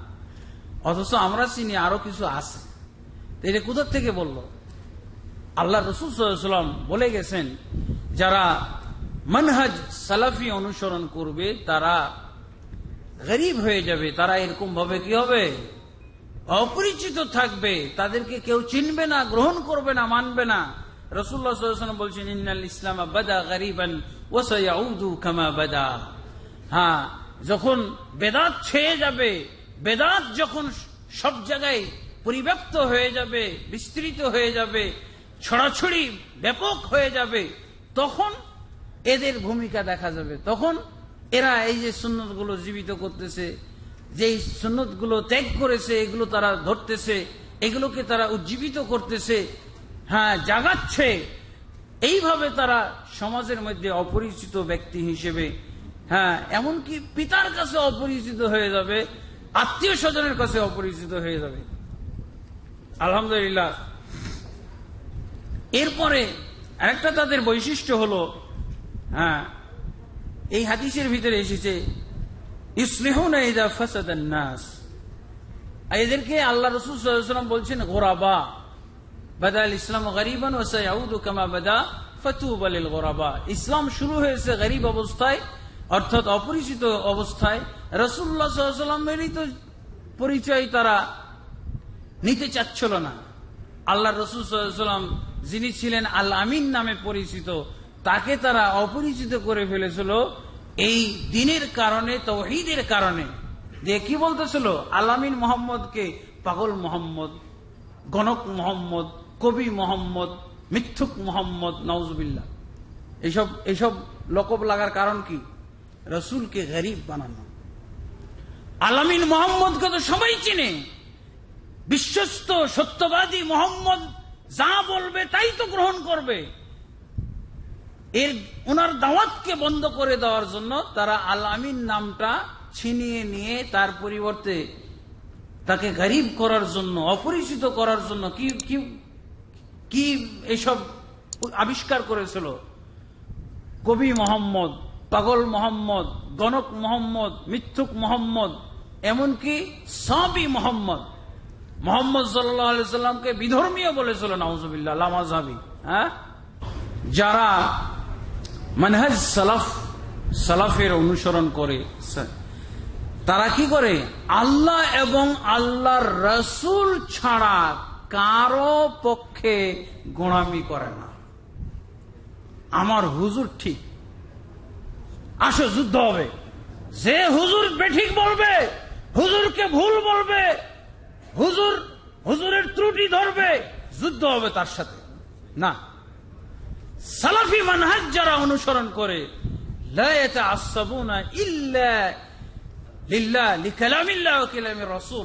আল্লাহ এবং আল্লাহর রাসূল ছাড়া আর কারও পক্ষেই তাদের গোড়ামি দেখা যাবে না। কারও পক্ষেই তারা কি করবে না? তারা এভাবে পক্ষ অবলম্বন করবে না। বাস আল্লাহ এবং আল্লাহ রসুলের পক্ষ অনুসরণ করে তারা যে কোনো পক্ষকে ত্যাগ করতে সদা প্রস্তুত, সবসময় প্রস্তুত থাকবে। একটা বৈশিষ্ট্য হলো তাদের যে এরা আল্লাহর নবী মোহাম্মদ রসুল্লাহ সাল আলহাসাল্লাম সম্পর্কে সবচেয়ে বেশি জ্ঞান রাখে। যারা সালাফি মানহাজ, কারণ কি? আমি এবং আমার সাহাবিগণ আজ যার উপরে রয়েছি, এর উপরে যারা হুবহু থাকবে, এদেরকে কি করতে হবে? আল্লাহ রসুল সম্পর্কে জানতে হবে না। আল্লাহ রসুলের হাদিসের সাথে এদের সম্পর্ক রাখতে হবে। শুধু আল্লাহ রসুল সাল্লামের হাদিসের সাথেই নয়, হাদিসের সহি জয়ীব জাল বানোয়াট, এগুলো সম্পর্কেও তারা জানবে। এদের চেয়ে আর জাননেওয়ালা পৃথিবীতে কোনো দৃষ্টিভঙ্গির লোক থাকতে পারে না। কারণ প্রত্যেক কথাই কথাই তাদেরকে হাদিস ব্যবহার করতে হয়, এজন্য তাদেরকে আহলুল হাদিস বলা হয়। কেন? আহলুল হাদিস বলার কারণ হলো এটা। আরেকটা বিষয় হলো যে যারা মানহাজ সালাফি অনুসরণ করে, তারা যেহেতু কোনো ব্যক্তির গণা ভক্ত নয় এই জন্য তারা কি করে? সবাইকে সমানভাবে সম্মান করে। যেমন মাঝহের ইমামদের ব্যাপারে আমরা বলছি যাদের নামে বিভিন্ন মাঝহাব তৈরি হয়েছে, ইমাম আবু হানিফা শাফি মালিক, ইমাম আহমদ বিন হাম্বাল ইত্যাদি আরও অন্যান্য ইমামগণ তাদেরকে সবাইকে সমানভাবে সম্মান করে। তারা কখনো এদিক দিয়ে যেমন তারা কোন ব্যক্তির, এমনকি সাহাবি, তাবি কোন ব্যক্তি, ইমাম, মুজতাহেদ, কারও কথার তারা গোড়া ভক্ত নয় গোড়া অনুসারী নয়। ঠিক এর বিপরীতে কাউকেও তারা কটাক্ষ করে না, কাউকে তারা অসম্মান করে না, কাউকে তারা বেইজ্জত করে না। সমস্ত ইমাম মুজতাহিদদেরকে তারা কি করে? সম্মান দিয়ে দেয়, তাদেরকে ইজ্জত দিয়ে থাকে এবং তাদের ভুলের ক্ষেত্রে এক সোয়াবের অধিকারী মনে করে, শুদ্ধ ইজতিহাদ শুদ্ধ করলে তাদেরকে দুই সোয়াবের অধি- অধিকারী মনে করে, অতএব তাদেরকে কটাক্ষ করার, তাদেরকে গালিগালাজ করার, তাদের তাদেরকে দোষারোপ করার তো কোনো ইয়ে থাকতে সুযোগ থাকতে পারে না। আলহামদুলিল্লাহ। তো আরেকটা তাদের বৈশিষ্ট্য হলো যে তারা দাওয়াতের কাজ করে, আমর বিল মারুফ নাহি আনিল মুনকারের কাজ করে। বুঝেছেন? এমনি ভাবে তারা সমাজে, রাষ্ট্রে, ব্যক্তি জীবনে, পারিবারিক জীবনে, সামাজিক জীবনে, রাষ্ট্রীয় জীবনে, সর্বক্ষেত্রে আল্লাহ তবরকতলার বিধান অনুযায়ী চলার কথা বলে, আল্লাহ তবরকতলার বিধান তারা বাস্তবায়নের পক্ষে কথা বলে, তারা মানব রচিত কোনো বিধান মেনে নেয় না আশ্রয় প্রশ্রয় দেয় না আলহামদুলিল্লাহ। এবং তারা সমস্ত দলের মধ্যে মধ্যমপন্থী দল। দলের চিন্তা করলে তারা সব, যত ইসলামের মধ্যে দল, দলাদলি তৈরি হয়েছে, ফেরকা তৈরি হয়েছে, তাদের ভিতরে তারা হলো মধ্যমপন্থী। তার একটা বিষয় হলো যে এদের বৈশিষ্ট্যের মধ্যে একটা গুরুত্বপূর্ণ বৈশিষ্ট্য হলো যে এরা ইলিম আমল আর দাওয়াত নিয়ে ব্যস্ত থাকে। ইলিম আমল আর দাওয়াত। তালিম দাওয়াত তালিম, এটারই অংশ হিসেবে কিন্তু আজকের এই প্রোগ্রামটা আমরা দেখতেছি। হ্যাঁ এই দেশে এই সালাফি মানহাজ কখনো ইলিম অর্জন ছাড়া, তালিম ছাড়া, দাওয়াত ছাড়া, দাওয়াত গ্রহণ ছাড়া এটা সম্ভব নয়। মুখস্থ হইতে পারে নাকি? এটা কি এমনি এমনি আপনার কাছে এলিম এসে যাবে। এই জন্য এলিম চর্চা এদের হলো একটা বৈশিষ্ট্য। দাওয়াতের কাজ হলো তাদের একটা বৈশিষ্ট্য। আলহামদুলিল্লাহ। এবং দাওয়াত তালিমের ক্ষেত্রে তারা সতর্ক থাকে। যার তার কাছ থেকে দাওয়াত গ্রহণ করা যাবে না। যার তার কাছ থেকে দিন শিখা যাবে না। রসুল্লাহ সাল্লাহ আলহি আসাল্লামের দিন একটা আমানত। এই জন্য এই আমানত যার কাছে সংরক্ষিত আছে, হক্কানি আলেম যারা কোরআন সুন্না যথাযথভাবে সহিভাবে বুঝেন এবং যারা সহি আকিদা বুঝেন, যারা সহি মানহাজ বুঝেন, মানহাজ আহলুসুন্না ওয়াল জামাত যারা ভালোভাবে আয়ত্ত করেছেন, বুঝেন, তাদের কাছ থেকে এলেম অর্জন করতে হবে। অবশ্যই যার তার কাছ থেকে এলেম অর্জন করা যাবে না, এইটা তাদের কাজ নয়। এবং আলহামদুলিল্লাহ সহি তরিকায় এলিম অর্জন করা মানে কি? দলিল সহকারে। যা জ্ঞান অর্জন করবে, সেটা কাল আল্লাহ, কাল রসুল্লাহ আল্লাহ এবং আল্লাহর রসুলের রেফারেন্সে কোরআন, সুন্নার রেফারেন্সে গ্রহণ করবে এবং সে, এবং হাদিসের ক্ষেত্রে অবশ্যই সহি জয়ীব জাল, বানোয়াট, এই ব্যাপারে অবশ্যই পার্থক্য করতে হবে। অন্যথায় ইসলাম কিন্তু আবার নষ্ট হয়ে যাবে। জয়ীব জাল হাদিসের কারণে কিন্তু আমাদের ইসলামের মধ্যে অনেক বেদাত, অনেক শির অনেক কুফরি, অনেক ইখতলাফ সৃষ্টি হয়েছে। সেই ক্ষেত্রে যদি আমরা এগুলো ত্যাগ করতাম, তাহলে কিন্তু আমরা অনেক ইসলামের বিপর্যয় থেকে বেঁচে যেতে পারতাম। তো আলহামদুলিল্লাহ, তাদের আরেকটা গুরুত্বপূর্ণ বৈশিষ্ট্য হলো তারা আকিদায় এবং আমলের ক্ষেত্রে ঐক্যবদ্ধ। তাদের একটা পরিচয় কি? আল মানহাজ সালাফির একটা পরিচয় হলো যে, যারা এই মানহাজ, এই পন্থা অবলম্বন করবে, তারা ঐক্যবদ্ধ থাকবে, তারা কখনো বিভক্ত দেখা যাবে না। আমরা জানি যে বিভক্তি কিন্তু আমাদের ইসলামে, ইসলাম ধর্মের ভিতরে অনেক দিন থেকেই দেখা দিয়েছে। প্রথমত আকিদাগত বিভক্তি আমরা দেখেছি কাদারিয়া, মতাজেলা, মুরজিয়া ইত্যাদি। এরপরে শিয়া, সুন্নি ইখতিলাফ, এরপরে মাঝহাবি ইখতিলাফ হ্যাঁ? মাঝহাবি ইখতলাফ আমরা দেখেছি।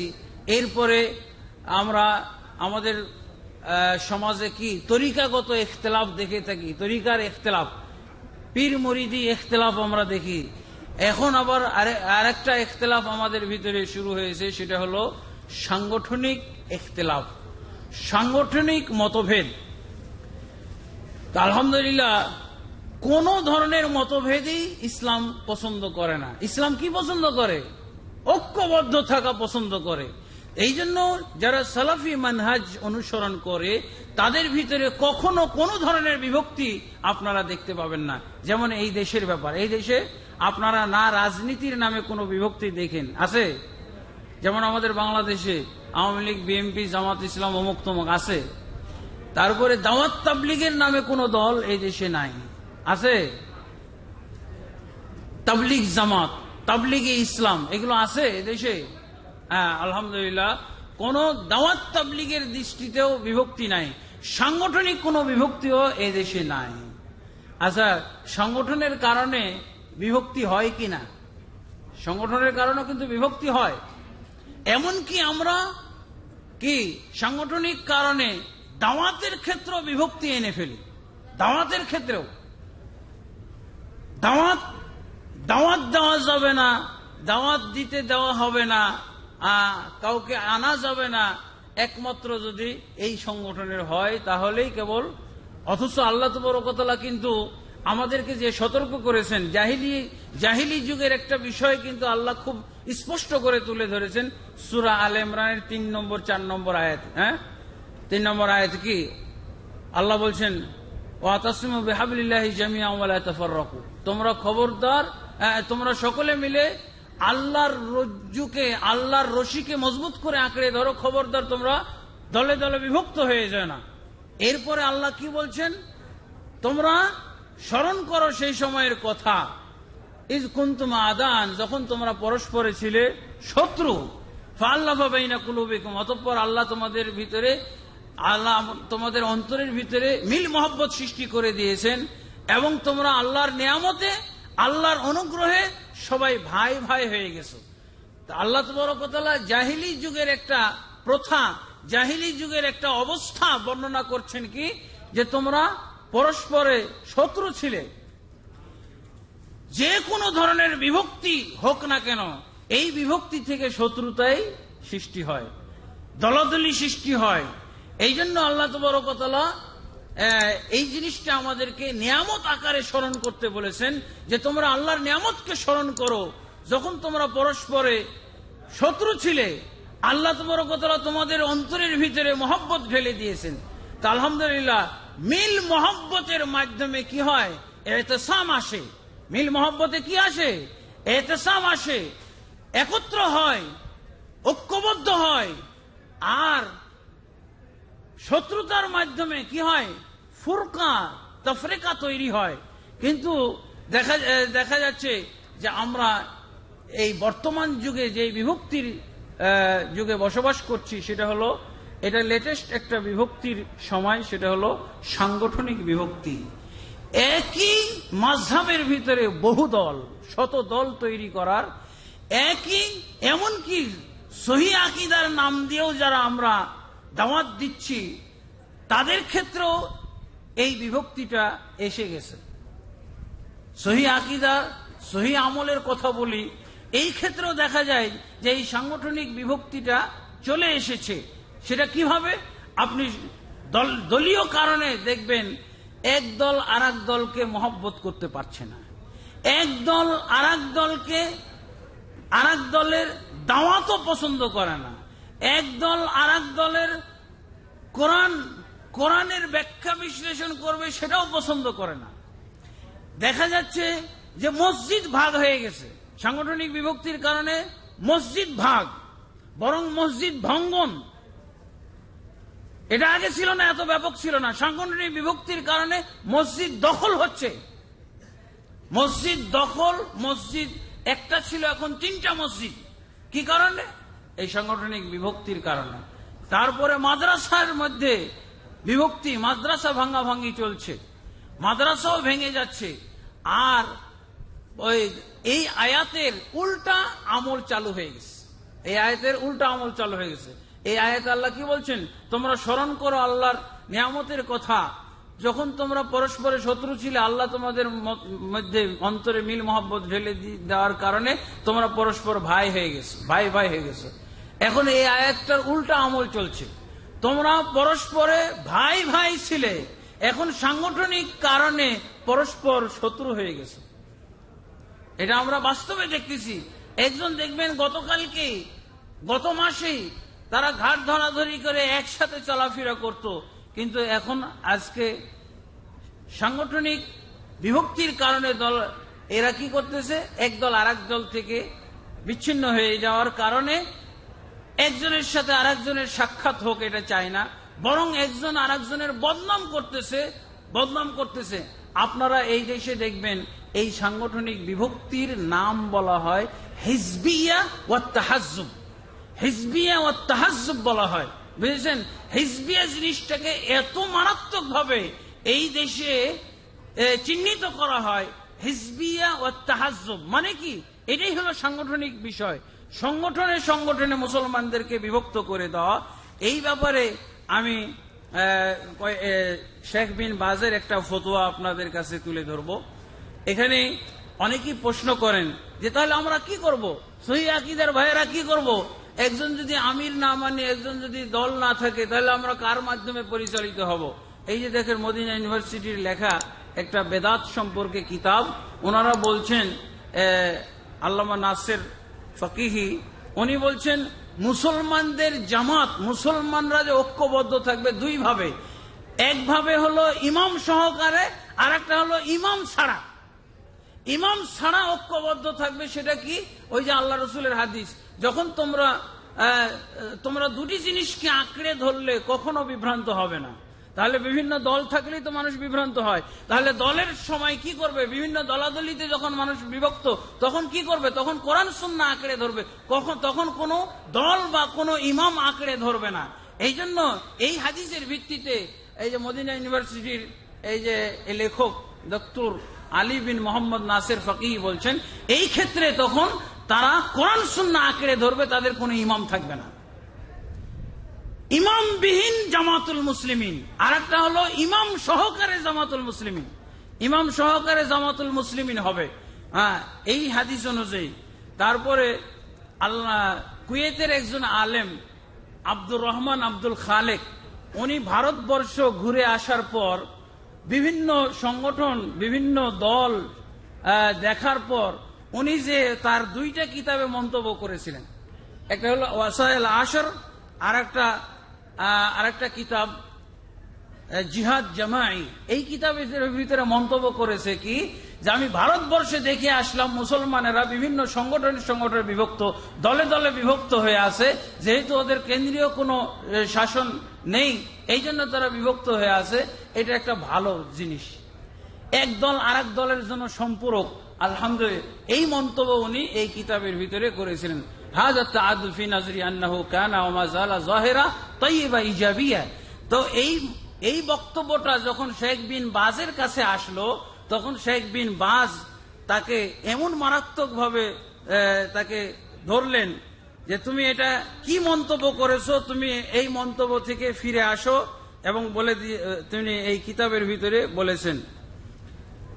وهذا لا يخفى أنه مصادم للآيات إلا تفر آه، দাওয়াতুকুম ফি কিতাবিকুম মাশরুইয়াতুল জিহাদ হে আব্দুর রহমান বিন আব্দুল খালেক তুমি আপনি যে দাওয়াত দিয়েছেন এই কিতাবের ভিতরে এই মুসলমানদের একাধিক জামাত মুসলমানদের একাধিক সংগঠন হতে পারে দল হতে পারে হ্যাঁ এবং মন্তব্য করেছেন হাজা জহেরাতুন সহিহা হ্যাঁ এটা একটা ভালো জিনিস বা ভালো দিক।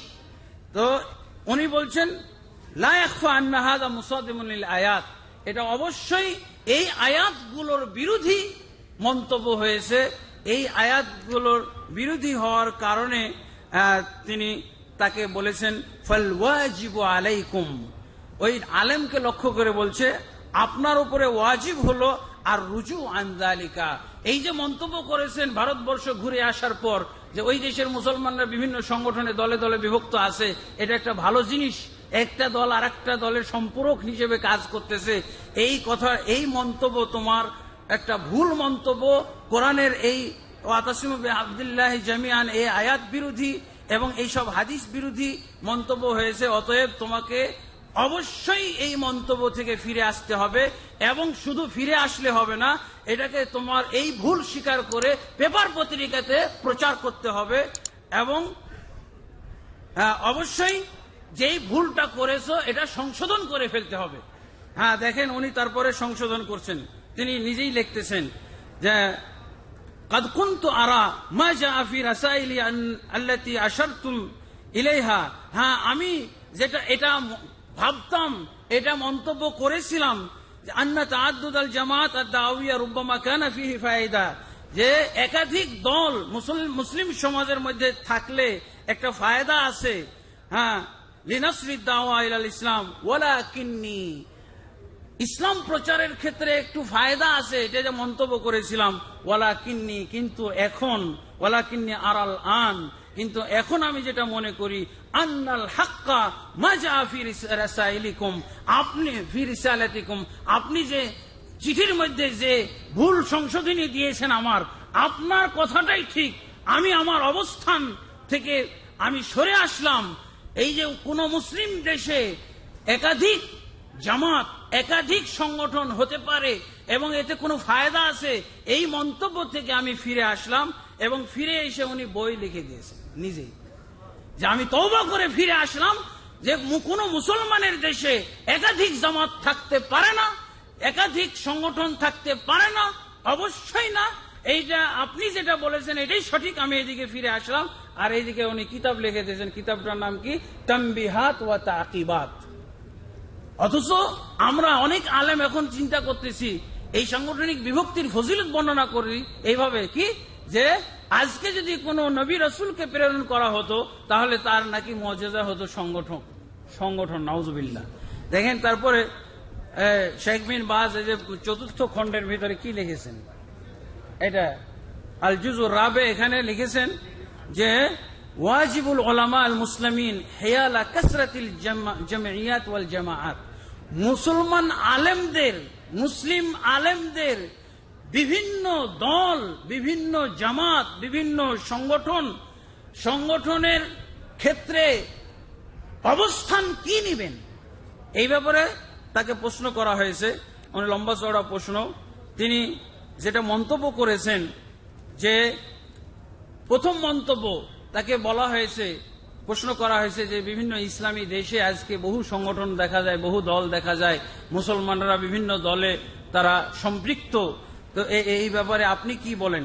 তখন উনি জবাব দিয়েছেন যে এই দলগুলো, এই সংগঠনগুলো যদি দেখা যায় তারা একসাথে ঐক্যবদ্ধভাবে সৌহার্দ্যপূর্ণ ভ্রাতৃত্ব, ভ্রাতৃত্বের সাথে, বন্ধুত্বের সাথে যদি একসাথে কাজ করে, সবার কাজ, সবার কথা, সবার সাথে পরস্পর সুসম্পর্ক যদি দেখা যায়, তাহলে কোনো সম- সমস্যা নেই। কিন্তু যদি দেখা যায় যে এদের ভিতরে পরস্পর দ্বন্দ্ব এবং অমিল এবং দেখা যায় শত্রুতা, হিংসা বিদ্বেষ, তাহলে তাহলে এই দলগুলোর ব্যাপারে আলেমদের কাজ হবে, জনগণকে এই আলেমদের কাজ হবে এই দলের লোকগুলোকে হেদায়েত করা। তাদেরকে তাদেরকে ইসলামের দিক নির্দেশনা দেওয়া যে তোমরা মিলে যাও, ঐক্যবদ্ধ হও, পরস্পর পরস্পরকে ভালোবাসতে শিখো, পরস্পরের সাথে মিলে জুলে চলো। যদি তারা মেনে নেয়, আলেমরা এই ভূমিকা পালন করবে। যদি মেনে নেয়, তাহলে ভালো কথা। অন্যথায় এই আলেমদের কাজ হবে, ডিউটি হবে এই সমস্ত দল থেকে এবং সংগঠন থেকে মানুষকে ফিরানো, সতর্ক করা এবং কেউ যেন এই দলগুলোর, সংগঠনগুলোর সাথে সম্পৃক্ত না হয়, এই বিষয়ে সতর্ক করতে থাকবে। এই ব্যাপারে তাদের দাওয়াত দেওয়া হলো কর্তব্য। এরপরে তিনি বলছেন হ্যাঁ কিন্তু ঘটনা এরকম, বাস্তবতা এরকম যে এই, যেসব দেশে এই ধরনের ইসলামের নামে মুসলমানরা বিভিন্ন দলে দলে বিভক্ত হয়ে গেছে, তারা, তাদেরকে দেখা যায় যে পরস্পরের সাথে কোনো মিল নাই। সেই ক্ষেত্রে তিনি বলছেন, মিম্মা আন্না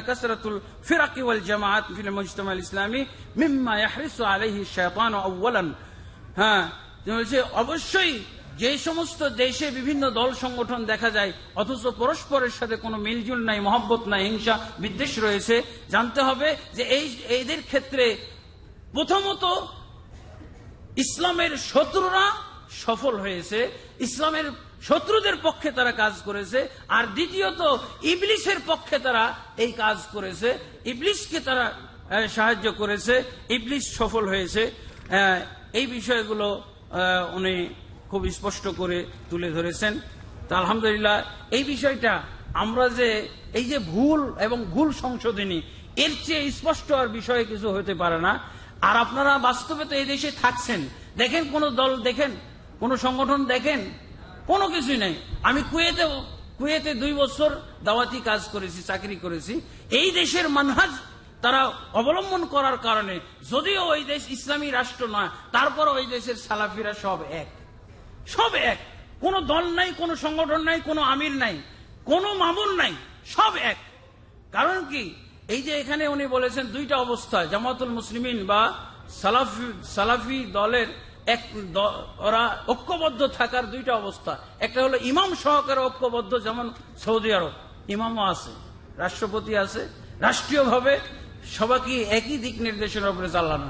আর যেই দেশে এরকম কোন রাষ্ট্রপতির আন্ডারে হ্যাঁ কোন বাদশার আন্ডারে ঐক্যবদ্ধ হওয়ার সুযোগ নাই, সেই ক্ষেত্রে কোন ইমাম, কোন দল কারোর সাথে সম্পৃক্ত না হয়ে ঐক্যবদ্ধ হইতে পারে, যেমন ভাবে হাদিসে আল্লাহ রসুল বলছেন, ঐক্যবদ্ধ হইতে পারবে, বিভ্রান্তি থেকে বাঁচতে পারবে। কি, কীভাবে? কোরআন শূন্য আঁকড়ে ধরার মাধ্যমে। আল্লাহ রসুল বললেন, কোরআন শূন্যের মাধ্যমে বিভ্রান্তি থেকে তুমি বাঁচতে পারবে। বিভ্রান্ত কখন হয়? যখন বহু দল বহুমত ভাই কোন দল যাব? কোন আলেমকে কোন আলেমকে আমির মানবো? কাকে আমির ধরবো? এটা বিভ্রান্তি না? যখনই বিভিন্ন দল থাকবে, এমনকি আলেমও বিভ্রান্ত হইতে পারে। মতিউর রহমান ভাইও বিভ্রান্ত হইতে পারে। কি?